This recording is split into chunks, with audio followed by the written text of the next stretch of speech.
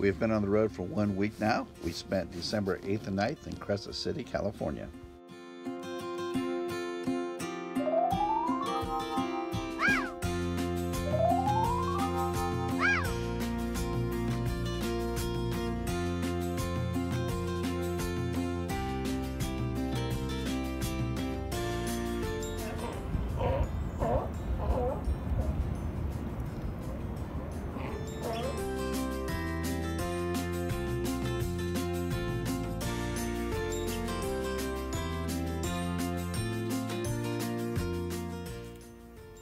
The immortal tree.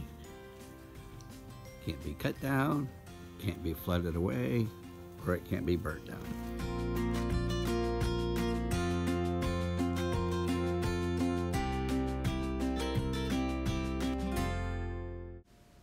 After the immortal tree, was back into the rig and a ride to the visitor center.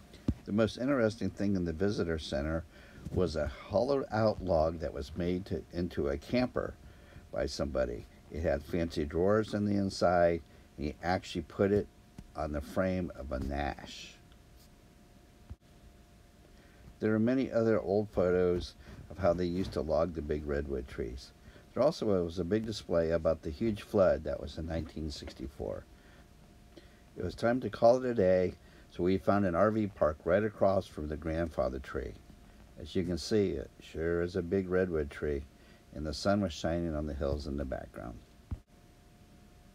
In 1946, somebody got a smart idea of making a one log house into a motorhome. He put it on a couple of wheels.